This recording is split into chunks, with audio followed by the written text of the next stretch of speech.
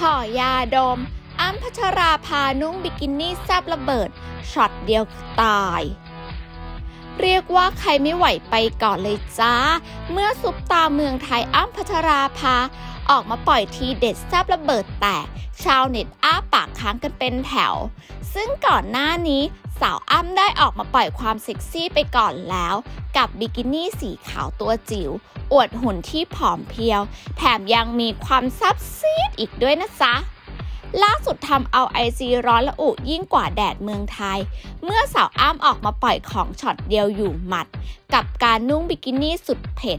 นอนโพสท่าสุดเซ็กซี่ โชว์ร่องอกเบาๆ อวดหน้าท้อง LS เห็น six pack พองาม ผิวพรรณเรียบเนียนขาวสว่างกระแทกตา